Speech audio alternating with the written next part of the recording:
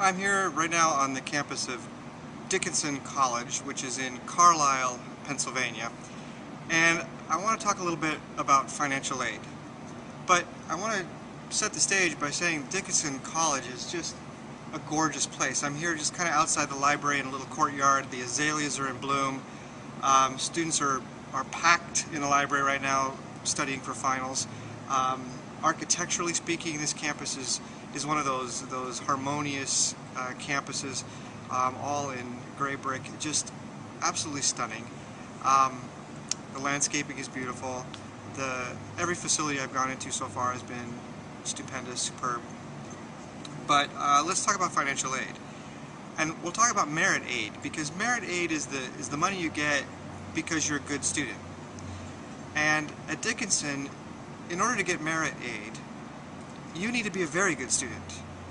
Dickinson reserves only a very small portion of its financial aid budget for merit, and at the very, it's awarded at the very top. So to give you some examples, I picked up this uh, fact sheet outside the admissions office. I'm here on a Saturday. It's not the best day to come, but um, it's what I could do. So um, I picked up this fact sheet, and for financial aid, first of all, the tuition for 2010-11 uh, is just over 41,000 just for the tuition alone. 57% um, of students receive some form of financial aid. 57%. So that means that 43% are paying $41,000. Okay, so just so you, you get put that in, in perspective. It also says that they do offer academic scholarships to 13% of the student body. Okay, so 43% are paying full price, and 13% are getting some sort of, of academic scholarship for uh, their high school labors.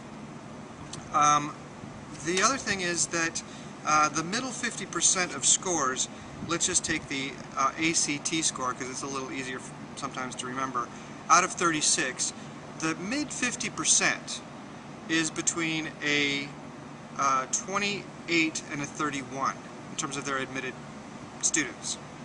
So 25% of students who are admitted have a 32 or above. So 25% have a 32 or above. Now remember, I said 13% of students actually get merit-based financial aid. So, in other words, in order to get a merit-based scholarship, I mean, this is rough numbers, in order to get a merit-based scholarship at Dickinson, you need to be at the top 13% of the admitted class or of the applicant pool. It, does tell us the applicant pool is between a 27 and a 31. So again, the applicant pool means that it's not just a 32 in or a 32 ACT in order to get merit-based financial aid. You need to have quite a bit more than that.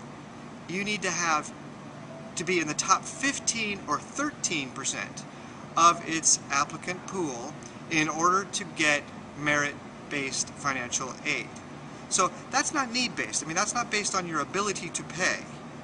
But if you are trying to reduce the price of college by maximizing other people's money, and in this case the college's money, to get scholarships from the college, you need to be in the top 13%.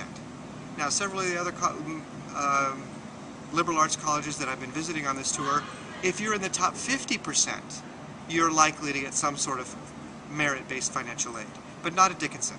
You need to be at the tippy-tippy top of the applicant pool to pull down merit-based aid.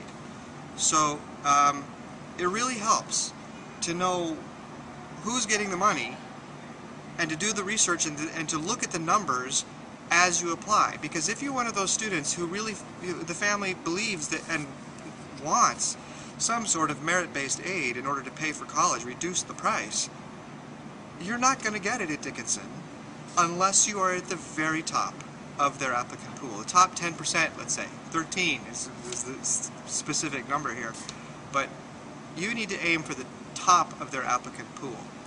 Again, other colleges, that's not the case. The top 50% of the pool receives some sort of uh, merit-based discount. But Dickinson, well, there's a reason why there are such wonderful facilities here.